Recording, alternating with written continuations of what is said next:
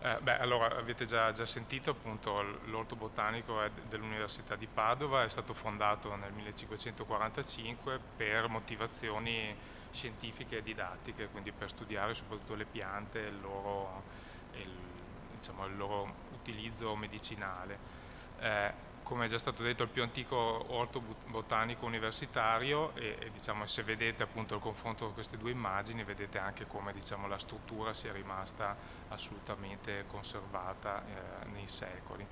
Eh, proprio anche grazie a, questa, a, questo fatto appunto è stato riconosciuto dall'UNESCO ormai 25 anni fa, quest'anno celebreremo questo, questo, anniversario, appunto il riconoscimento del valore culturale di, eh, del contributo scientifico e nella comprensione della, della, della relazione eh, fra natura e uomo che fa parte diciamo, del nostro patrimonio culturale. E questo diciamo, è forse il, il fil rouge che, che, che, che cerchiamo di, di, di, utilizzare anche diciamo,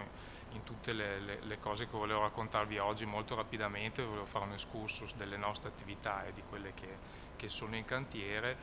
e che diciamo, secondo me si possono eh, diciamo, eh, diciamo, riassumere appunto in questa, in questa motivazione appunto nel cercare di, di, studiare, di comprendere meglio ma poi anche di comunicare eh, la, le relazioni fra, fra, la natura e l'uomo e quanto la natura sia importante per la, per la nostra sopravvivenza ma anche per il nostro, per il nostro benessere. Quindi la parte antica appunto che è quella originaria che, che ha mantenuto sia il luogo che, che il disegno che ha una serie di collezioni botaniche che hanno diverse, eh, diverse classificazioni, diversi scopi, quindi dalle piante medicinali a delle piante di ambiente montano, a delle piante invece che sono state eh, introdotte per la prima volta da, da, dall'orto botanico in Italia. Quindi diciamo, una, un, è un racconto diciamo, della, della storia botanica un grande passaggio per l'orto botanico è stato l'inaugurazione del Giardino della Biodiversità eh, nel 2014 in cui ci sono cinque serre che riproducono diversi ambienti. E, e queste all'interno di, di, queste serre ci sono due percorsi espositivi che hanno due temi che appunto si ricollegano bene alla motivazione dell'UNESCO che è appunto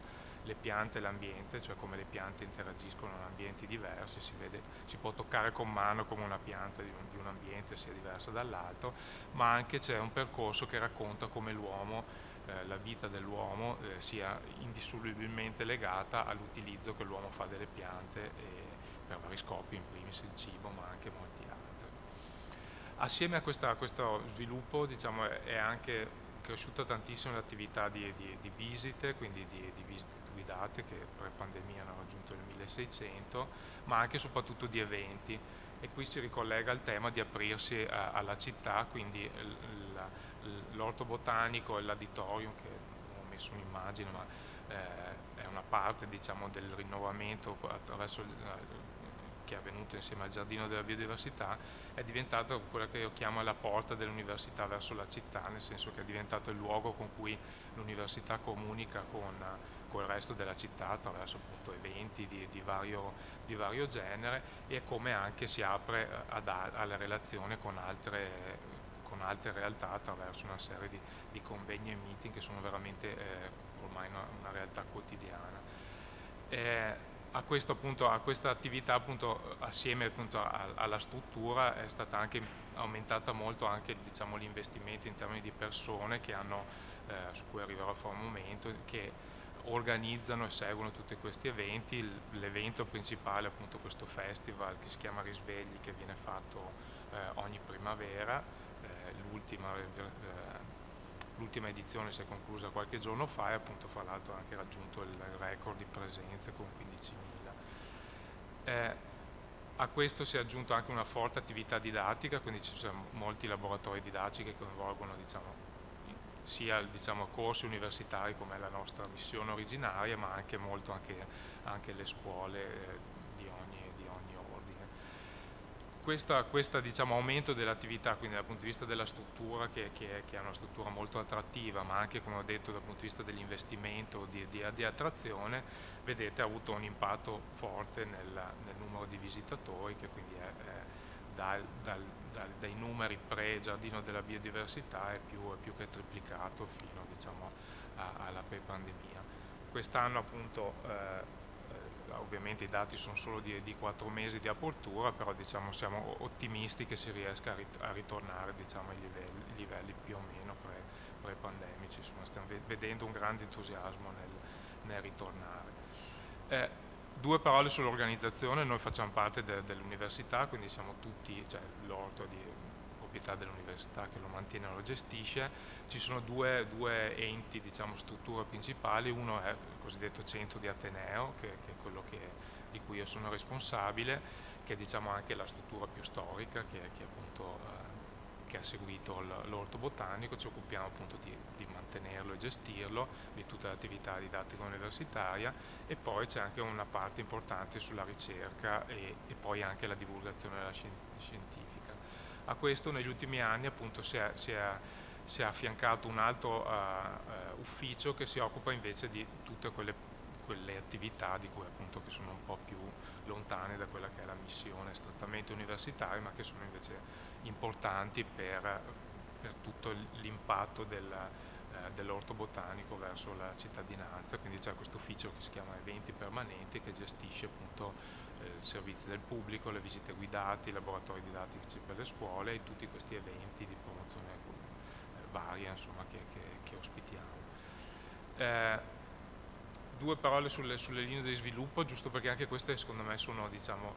per sottolineare quelle che sono diciamo, la, la, nostra missione che ci distingue forse un pochino dagli altri relatori, anche diciamo, io sono un ricercatore in biologia vegetale, quindi sono veramente un profilo molto diverso da quello degli altri relatori di oggi. Eh, quindi un primo sviluppo importante sarà l'apertura del Museo Botanico, di cui vi parlerà Elena fra, fra un minuto. Eh, c'è poi un piano per fare una serie di interventi a favore della sostenibilità, quindi migliorare le nostre serie di coltivazioni,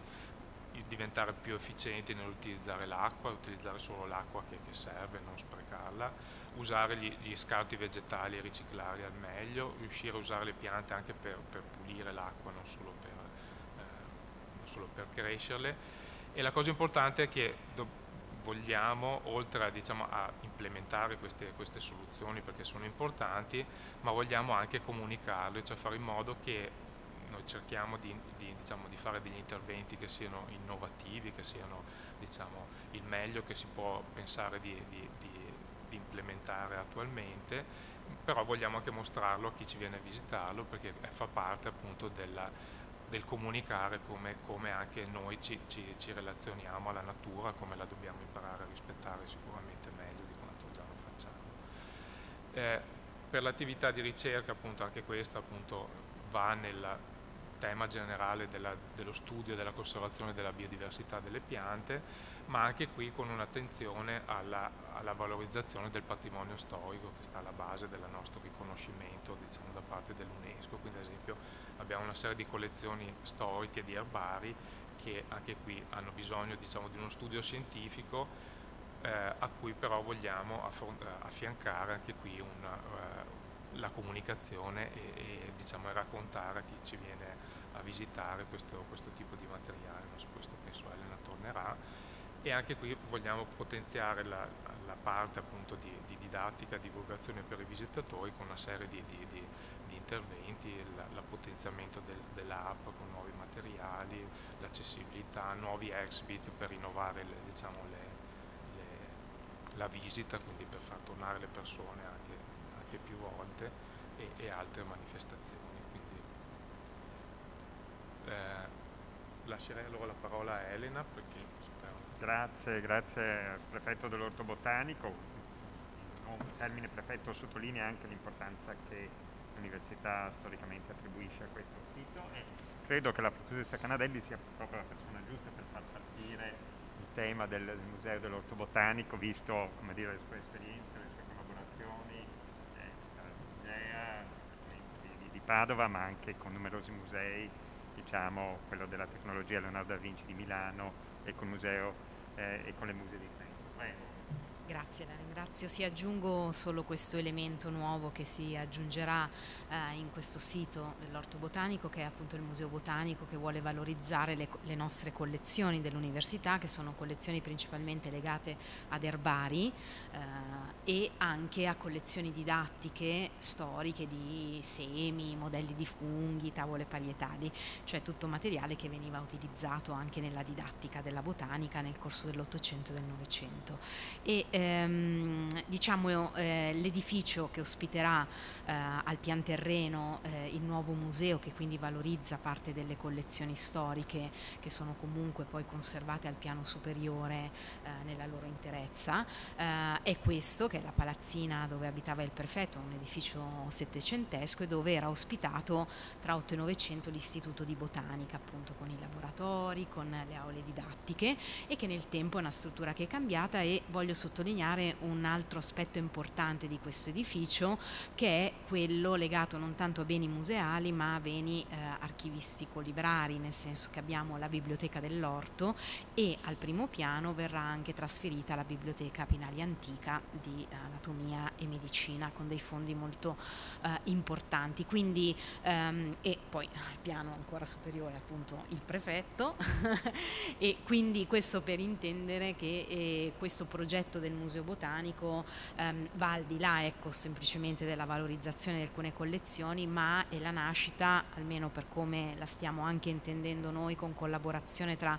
eh, diverse anime che abitano questo sito, cioè i botanici, chi si occupa di patrimonio storico in senso lato e chi fa comunicazione. Eh, ecco, è, è proprio questo, quindi un luogo dove la storia, la natura, la mm, botanica come scienza vogliono dialogare sia con il pubblico nel nuovo percorso che eh, adesso vi mostrerò velocemente, sia anche come livello di conservazione per quello che riguarda l'erbario, che quindi è uno strumento sia botanico ma anche storico, perché nei fogli d'erbario troviamo informazioni storiche sulla raccolta, il raccoglitore, il luogo, ehm, che quindi meritano anche uno studio storico, in particolare storia della scienza, ma soprattutto anche botanico per capire come è cambiato cambiata anche la biodiversità, i luoghi di raccolta. E quindi appunto sopra continueremo a, a fare facendo anche attività didattica, quindi si implementerà questa, questa parte. E poi con un polo appunto di biblioteca e archivio perché abbiamo anche l'archivio dell'orto botanico che va grosso modo ehm, dalla fine del Settecento agli anni 20 del Novecento eh, che è stato finalmente inventariato e che sarà disponibile a breve su Faidra che è la piattaforma digitale dell'Università di Padova in operazione open access accessibile a tutto il mondo liberamente, quindi insomma stiamo lavorando in sinergia. E, um,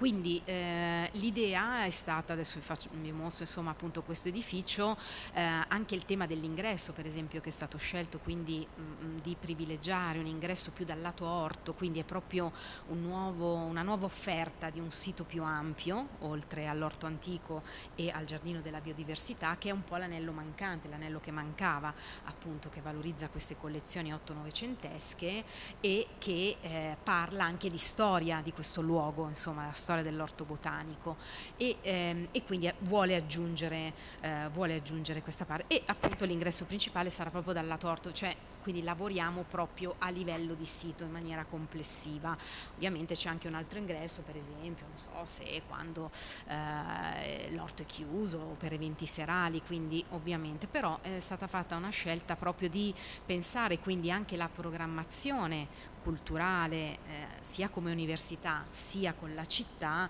eh, di un certo tipo, insomma, eh, integrata. E ehm, qui vedete velocemente un po' il percorso, appunto si, eh, si entra, c'è una sala introduttiva, poi c'è una valorizzazione in questo lungo corridoio proprio dei fogli d'erbario eh, con eh, delle valorizzazioni di storie legate ai raccoglitori oppure legate alle piante, a tematiche legate alle piante o fondi che costituiscono l'erbario, quindi legati a prefetti del passato importanti,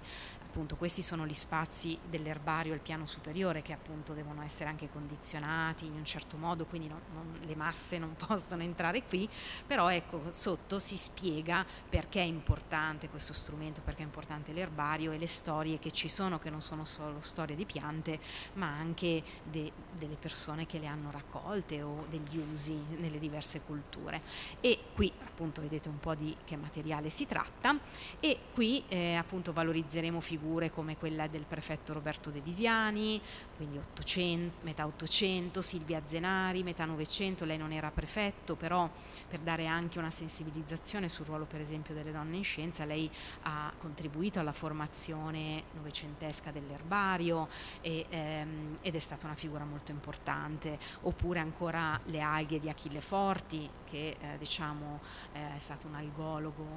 della fine dell'Ottocento, oppure il prefetto insomma eh, micologo anche Saccardo e siamo alla fine del, dell'Ottocento, quindi appunto anche alcune valorizzazioni proprio di fondi eh, di erbario legati a dei nomi importanti oppure anche ad erbari che non sono scientifici strettamente ma che sono importanti, per esempio abbiamo questo erbario appunto di eh, giovanile di Filippo De Pisis, quindi anche il rapporto con l'arte, insisteremo molto su questo appunto storia, natura, eh, cultura, piante e scienza per dare anche un'immagine di un certo tipo. E qui vedete dei, insomma, dei rendering giusto per farvi un'idea insomma, di questo lungo corridoio. Poi ci sarà una parte importante che è legata a questa spezieria di primo Ottocento che è stata donata da Giuseppe Maggioni qualche anno fa e che ci consente di parlare degli albori dell'orto botanico, quindi facciamo un po' un salto all'indietro quando legato alla farmacopea, allo studio delle piante, alla, alla cura. Eh, diciamo così, della, uh, dell'uomo attraverso le piante, quindi parliamo delle origini, in un ambiente dedicato, anche qui vedete dei rendering giusto per uh, farvi un'idea, e poi c'è una parte invece dedicata appunto al laboratorio del botanico dove invitiamo attraverso le collezioni didattiche di 8-900, quindi con modelli di funghi, semi, al, al riconoscimento delle piante ancora, diciamo, torniamo andiamo un po' più avanti quando la botanica è una scienza autonoma e quindi è, basata sul riconoscimento delle morfologie, insomma valorizzando queste collezioni eh, che in parte esporremo, quindi collezioni di semi, centurie, ehm, oppure anche tavole parietali, eh, provette, insomma per far entrare un po' nel laboratorio del botanico anche il visitatore di, chiedendoli di riconoscere, di, di, riflettere su alcune cose. Un aspetto importante di tutto il percorso è appunto questa linea di valorizzazione delle singole collezioni, non so, um, collezione dell'Ottocento con una determinata tecnica che entra nel museo nel 1830 e poi invece dei contenuti più generali, quindi ci muoveremo su questi due uh, uh, livelli. Poi appunto ci sarà un filmato nel Teatro Botanico uh, con una valorizzazione anche di queste di Atomeco, poi come vi dicevo al piano superiore oltre alla biblioteca dell'orto che c'è sempre stata si aggiungerà la Pinalia Antica con anche una valorizzazione di diverso tipo perché appunto se nel Museo Botanico si entrerà con un biglietto unico del sito Orto Botanico e l'utente diciamo medio che va in biblioteca non è un utente pagante ovviamente e è, um, può essere di consultazione specialistica ma anche offrendo qualcosa di più per esempio con delle mostre bibliografiche che diciamo magari saranno gratuite con piccoli gruppi, una, una gestione diversa ma che contribuirà noi speriamo insomma, rilanciare questo patrimonio fondamentale dell'Università di Padova in una maniera diversa rispetto a quanto si fa giù al pian terreno, ma comunque eh, fondamentale che non è mai stata fatta, recuperando sempre questo elemento medico e botanico. Quindi Uh, questo anche qui è un rendering per farvi capire questo corridoio che prima era adibito ad altre mansioni sarà di valorizzazione di questi volumi, uh, volumi antichi e ehm, quindi eh, quello che diciamo porterà questo museo botanico non è tanto solo un allestimento del pian terreno, ma a nostro modo di vedere è proprio anche un'aggiunta, una progettazione eh, sia interna all'università tra vari componenti di ricerca, quindi dall'ambito storico, architettonico, di conservazione del patrimonio botanico e una nuova collaborazione quindi, ma anche un arricchimento poi dell'offerta al visitatore che arriva e in qualche modo capisce eh, l'evoluzione diciamo dal 1545 a Giardino della Biodiversità dove in mezzo c'è questo periodo molto importante che è appunto il Settecento, l'Ottocento e la prima parte del Novecento attraverso le collezioni. Ecco, grazie. Grazie, grazie molte anche per questo viaggio virtuale che ci ha